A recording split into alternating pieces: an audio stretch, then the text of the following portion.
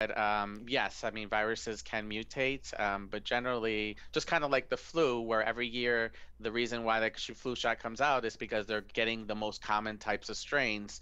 Um, I believe, you know, the corona um, family works in that aspect as well.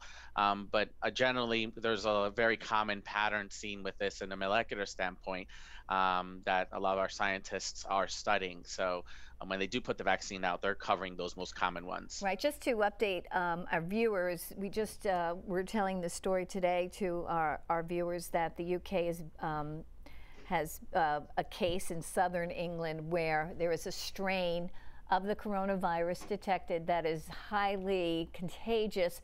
They do not know if it's the severity of it. They feel like it may not be um, as severe, but they're still watching it.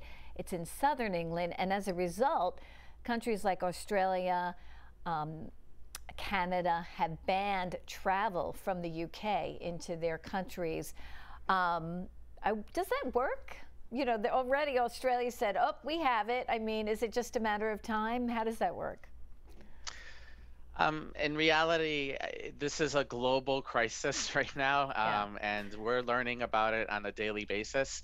Um, what we know works is what New York did. We all, you know, pretty much wore masks, did what we had to do, um, adhere to what our local officials are telling us, and we saw it, you know, kind of calm down.